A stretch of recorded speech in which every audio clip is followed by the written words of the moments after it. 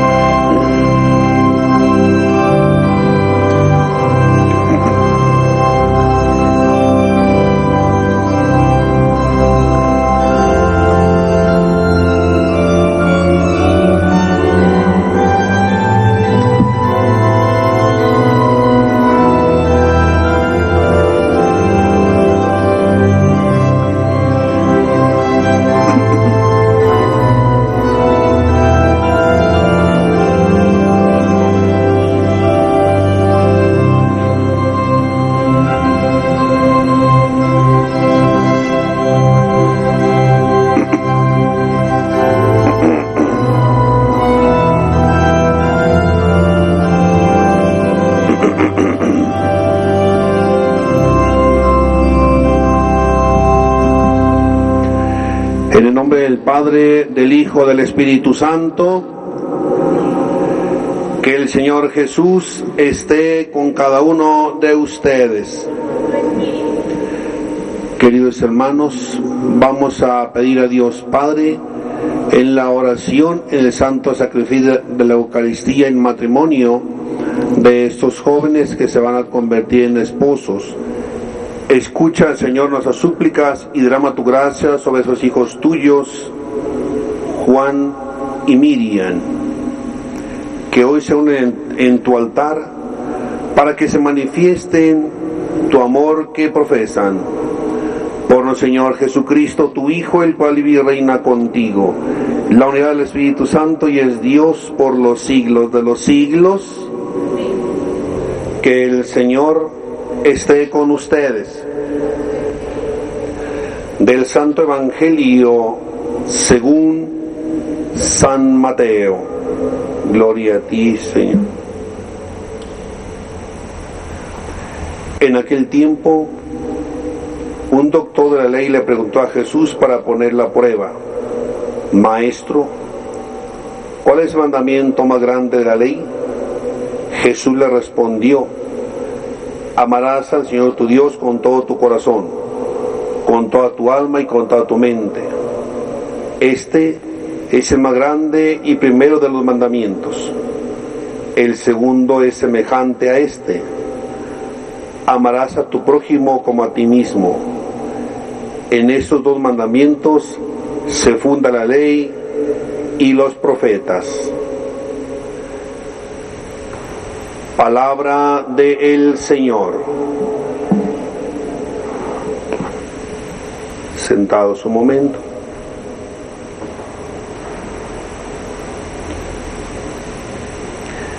Miriam, Juan, hoy ustedes en esta tarde vienen a pedirle al Señor que los una para siempre en ese amor que ustedes han venido acrecentando desde que se conocieron, se hicieron amigos, pasaron la etapa del noviazgo, en aquella decisión, quiere ser mi esposa, quiere ser mi esposo, a la cual ustedes dijeron que sí.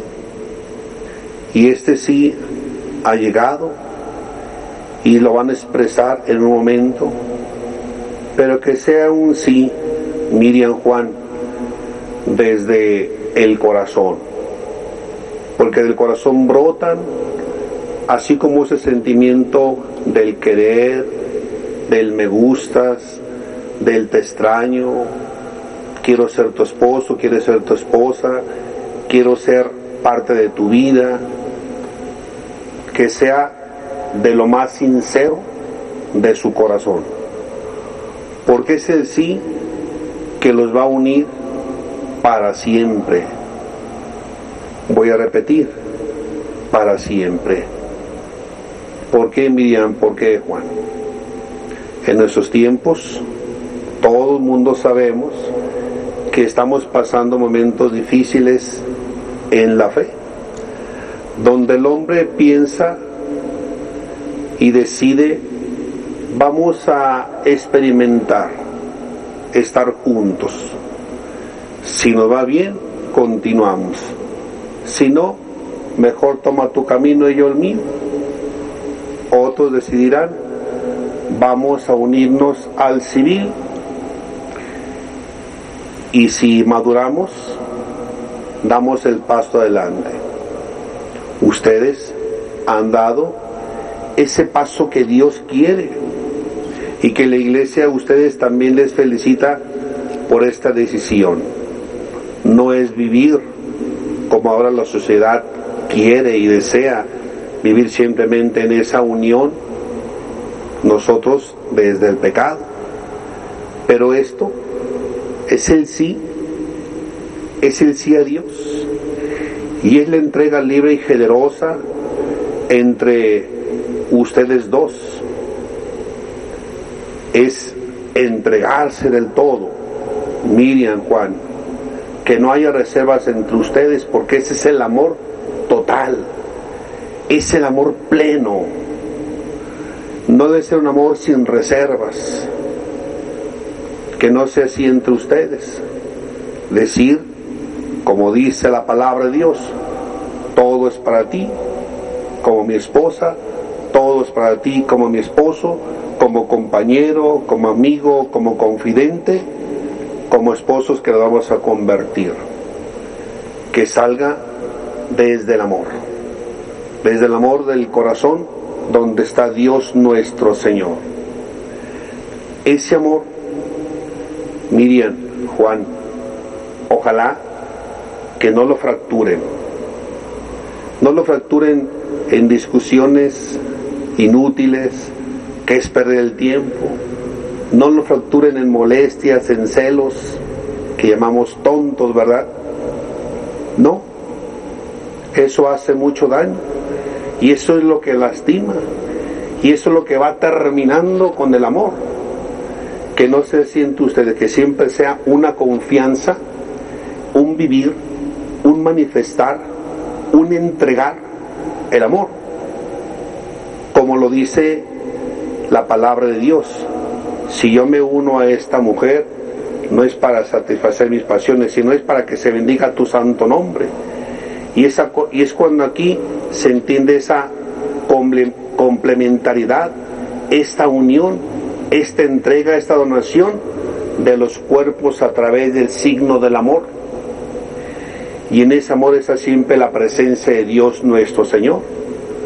Por eso ustedes, en esta tarde, le piden a Dios su bendición, que los acompañe, que los guíe y que siempre esté presente el amor. No permitan también que por alguna razón alguien se equivocó, alguien tomó una mala decisión, alguien no está bien de carácter, que no lo hagan grande como decimos, ¿verdad?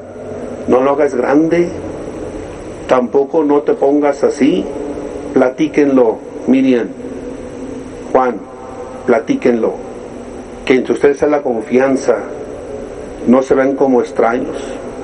Las situaciones adversas surgen en la pareja, surgen en el hogar, no permitan que el exterior, los amigos, los compañeros, la familia, tomen decisiones, no, que sean ustedes quienes decidan cuál es el camino correcto, cuál es la mejor decisión que van a tomar.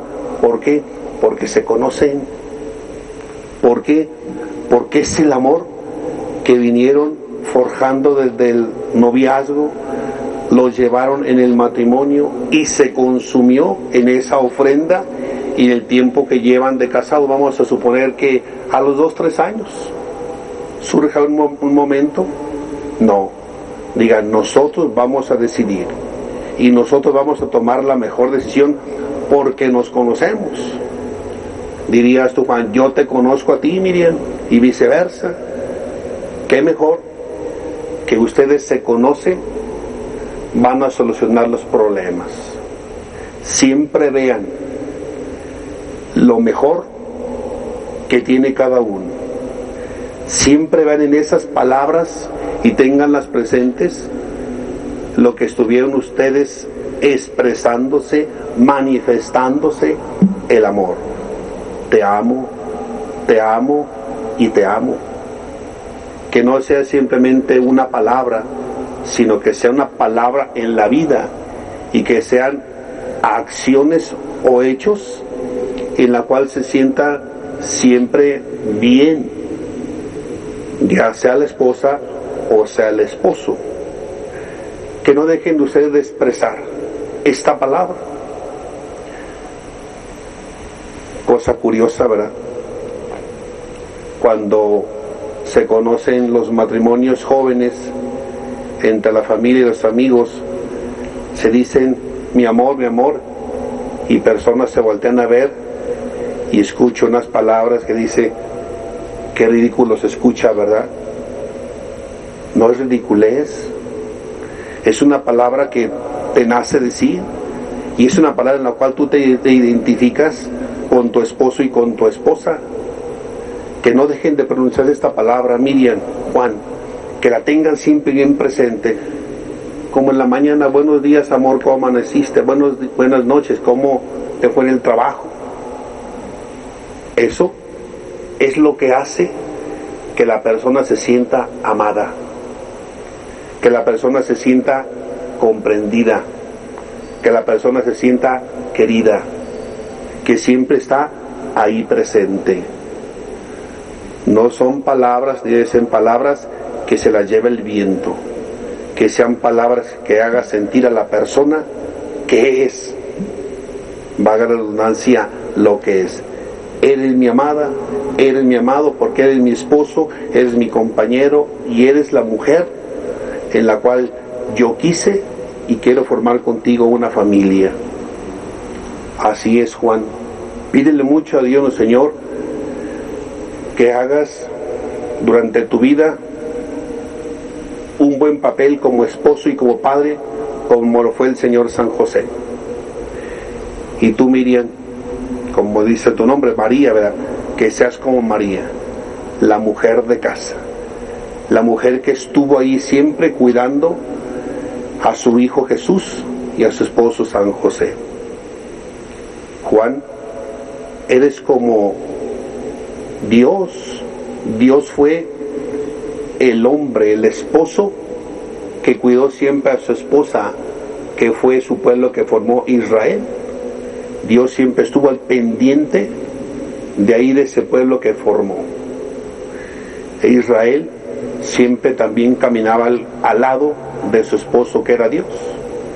Son este, esta unión de Dios con su pueblo, de Cristo con la iglesia, de Juan con Miriam. Y es esta unión la que se va a santificar. Es esta unión en la cual ustedes van a vivir para siempre.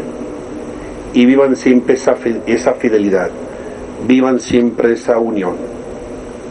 Miriam, Juan, ojalá que no pase por su pensamiento en ustedes el día de mañana, me voy a separar.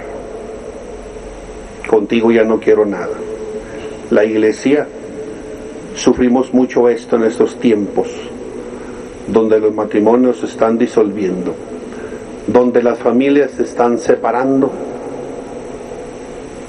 por cualquier cosa, ¿verdad? Muchos de ustedes sabrán su situación o las situaciones que viven ahora los matrimonios y las familias. No, que entre ustedes sea siempre esta unión para cuando Dios los llame.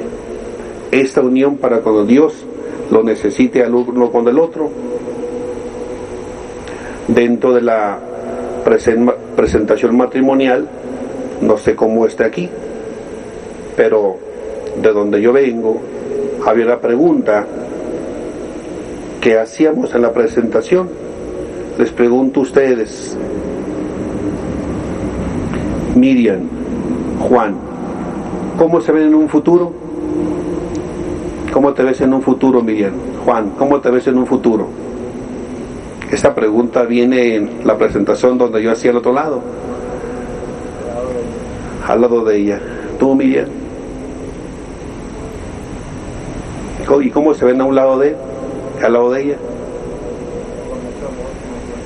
Con mucho amor. Miriam. ¿No se ven como viejitos? Con hijos y con nietos. Ándele, mire, felicidades. Pero no te gustaría verse viejitos con estos niños que tienen ahora, verlos ya profesionistas y verlos que sus hijos les den hijos. La respuesta sería correcta, ¿verdad? Queremos llegar a envejecer juntos y queremos llegar hasta el fin, hasta la meta, cuando Dios nos llame. Ojalá que se les conceda, Miriam, Juan, ¿verdad? que se les conceda llegar hasta, por lo menos hasta los 80. Vamos a pedirle mucho a Dios por ustedes y que su matrimonio perdure hasta que Dios nos quiera. Ojalá que sean no solamente 25 bodas de plata, sino que sean 50.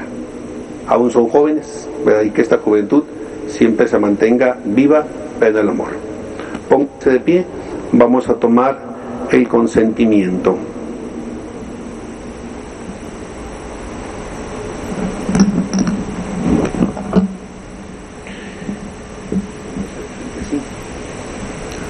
Casi suerte ustedes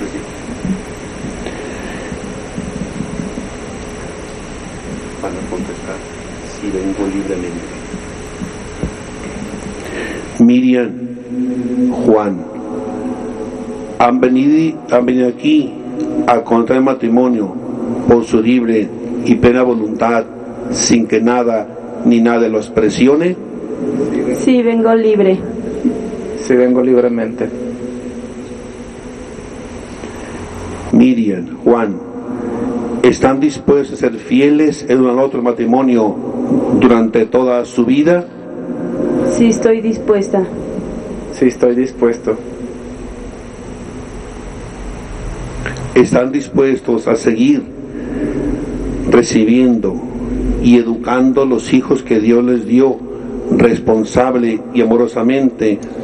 y educarlos según la ley de Cristo y de la iglesia? Sí, estoy dispuesta.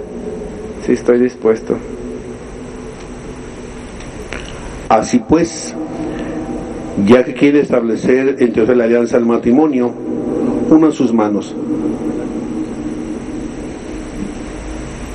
y van a expresar su consentimiento delante de Dios y de la iglesia.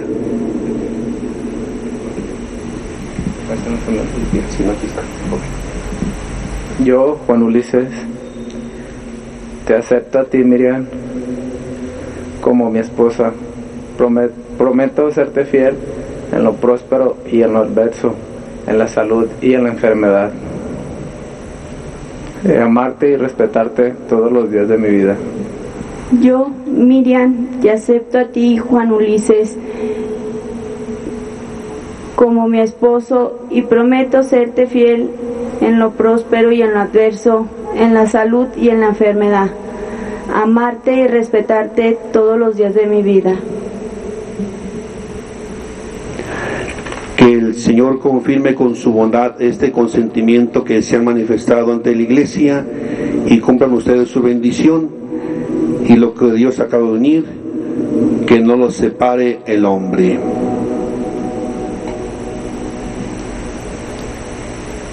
De pie todos en este momento.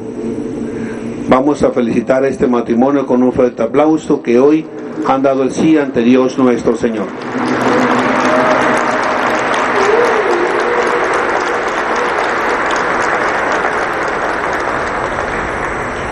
Los padrillos, los padrinos de anillos y de arras, anillos y arras.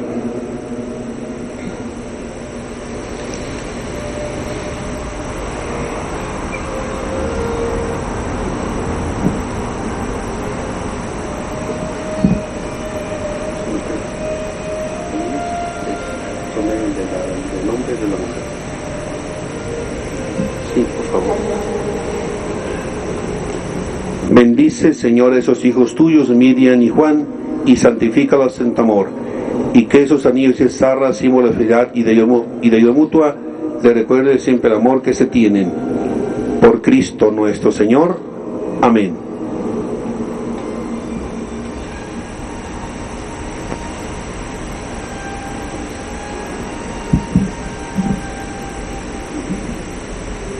Miriam, Miriam, acepta este anillo, es signo de mi amor y fidelidad. En el nombre del Padre, del Hijo y del Espíritu Santo.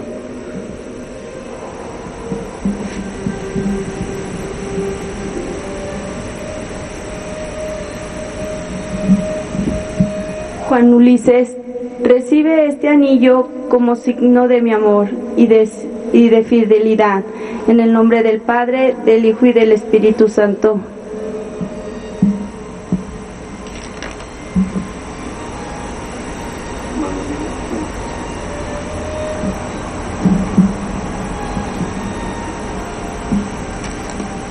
Recibe, Miriam, recibe también estas arras.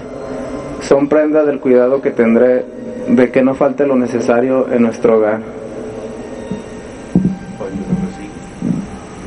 Juan, yo las recibo como prenda de la bendición de Dios y en señal de los bienes que vamos a compartir.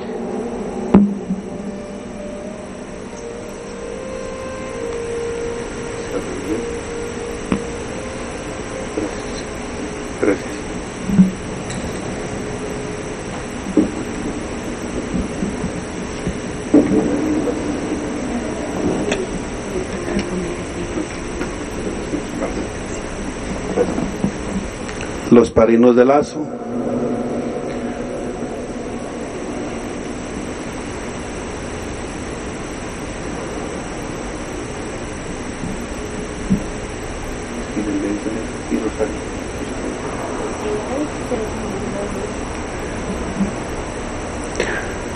Traen padrinos de Biblia, crucifijo, rosario, pasen.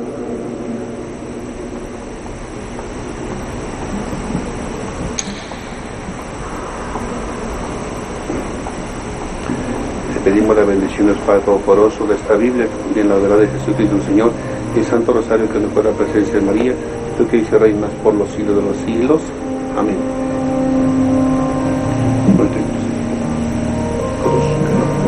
No.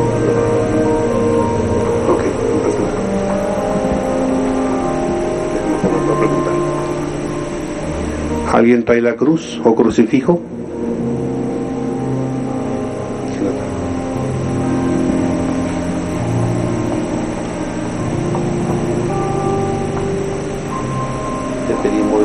Todopoderoso, la bendición de esta cruz que para Jesucristo nuestro Señor en el amor y que este matrimonio esta familia que lo recibe lo porte en su corazón y su hogar para que Jesús sea la protección de su hogar. Lo que dice reina por los siglos de los siglos. Amén.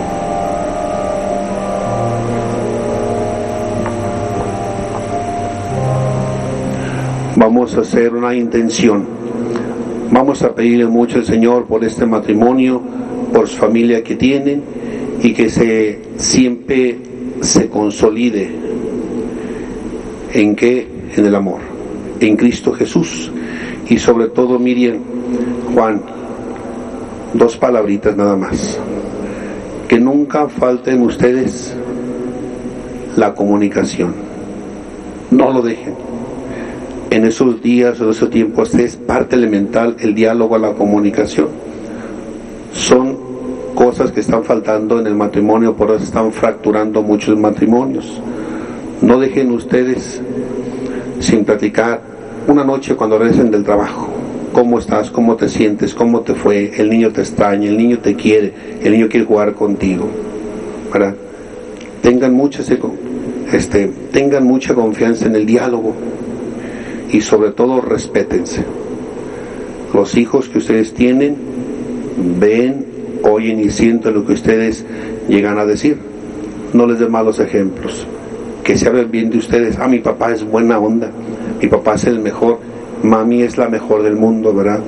Que sus hijos vean de ustedes siempre las buenas, las buenas costumbres, una buena educación de, a los hijos. No peleen delante de ellos ni se enojen mucho menos. Entonces, diálogo y respeto en su hogar, Juan. Que nada y nadie intervenga en sus decisiones decimos ¿verdad? afuera todas esas malas vibras que hoy Jesús entra a su corazón como entra a su hogar. Que Dios le bendiga y que María Santísima lo proteja con su manto. Por Cristo, con Él y en Él. A ti Dios Padre Omnipotente, en la unidad del Espíritu Santo, todo honor y toda gloria por los siglos de los siglos llenos de alegría por ser hijos de Dios, digamos junto la oración que Cristo Jesús nos enseñó a todos. Padre nuestro que estás en el cielo, santificado sea tu nombre, venga a nosotros tu reino, hágase tu voluntad en la tierra como en el cielo. Danos hoy nuestro pan de cada día Perdona nuestras ofensas, como también nosotros perdonamos a los que nos ofenden. No nos dejes caer en la tentación y líbranos del mal. Pidamos a Dios que esos esposos que han venido al altar para unirse al matrimonio vivan siempre unidos por amor. Concede, Padre Santo, a esos hijos tuyos que han unido sus vidas ante ti, participar algún día alegre del banquete nupcial por Jesucristo nuestro Señor. Amén. Este es Cristo, es el Cordero de Dios que quita el pecado del mundo. Dichosos los hombres invitados al banquete del Señor.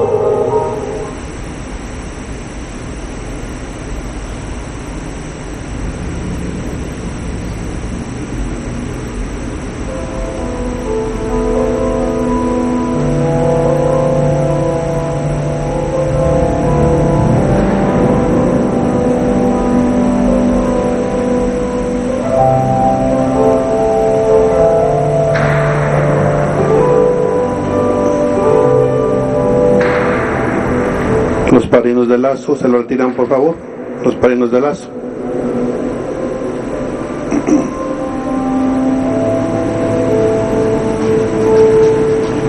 La boleta no, verán, dice que no. Ellos pasan a la parroquia. Ya no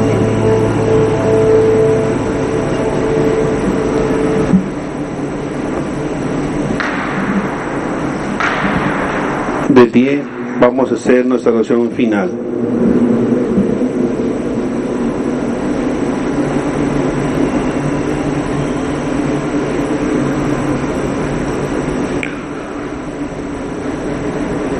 Oremos. Que el Señor esté con ustedes y reciban la bendición de Dios Todopoderoso, del Padre, del Hijo, del Espíritu Santo, descienda sobre ustedes y permanezca para siempre. Vamos a felicitar, pero fuerte, fuerte el aplauso a estos esposos. Un aplauso siempre es la bendición de Dios. Felicidades, Juan, Miriam. Dios les bendice, los acompañe siempre. Muchas felicidades.